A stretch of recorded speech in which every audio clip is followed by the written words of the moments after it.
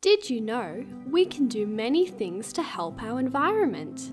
We can reduce, reuse, and recycle.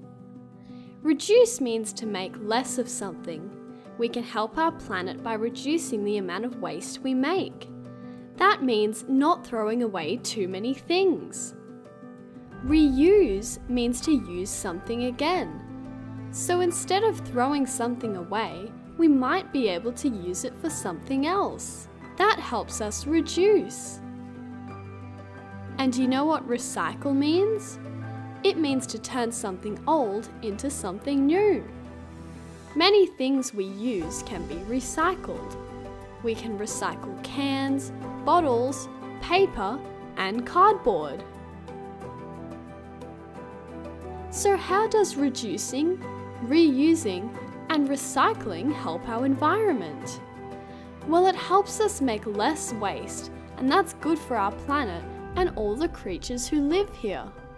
Can you think of some ways you can reduce, reuse, and recycle at home?